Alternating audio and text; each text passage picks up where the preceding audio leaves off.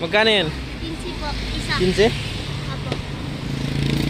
Ika, dalawa niyo na po. Ang dami niyan.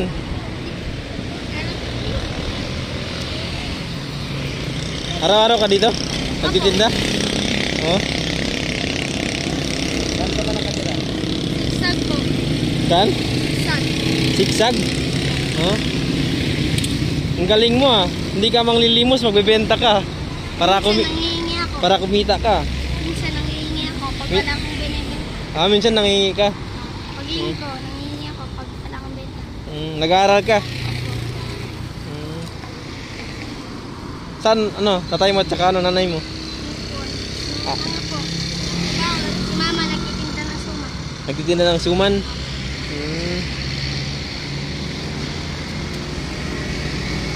Anong grade ka na? Pa? Anong grade 5?